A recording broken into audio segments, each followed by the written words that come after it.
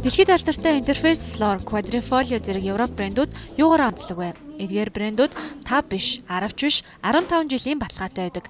Альва зүйлд чанар хамгийн гол үзүүлэлт гэж үздэг Valentart галерейн эзэн хатагтай Элизабета Монголын хэрэглэгчдийн сэтгэлгээ хэрхэн өөрчлөгдөж байгаа талаар бидэнтэй хуваалцсан юм а.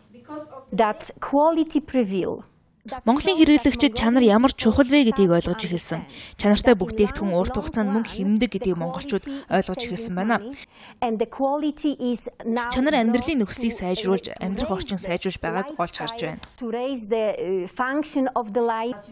Хэрэглэгчид чанартай бүтээгдэхүүнийг үнэлж чаддаг басны нэг жишээ нь өнгөрсөн 7 хоногт гэхэд 16 сая төгрөгийн үнэтэй энэ будангаас 3 ширхгийг борлуулснаас харагдаж байна.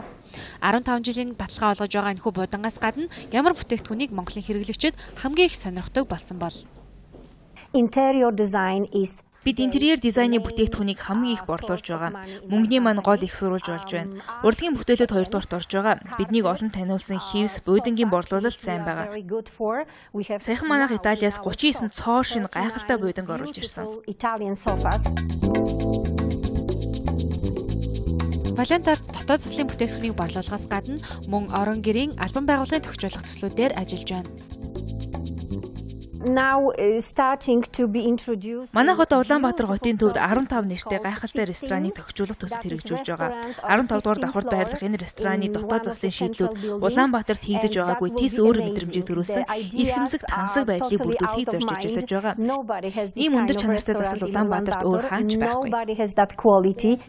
Валентарт зөвхөн Европ чанарын бүтээгдэхүүнийг борлуулахаас гадна Монгол уран бүтээлчдийн уран зургийг зохиогчийн эрхтэйгээр борлуулдаг юм а. Хонгор зул Блумберг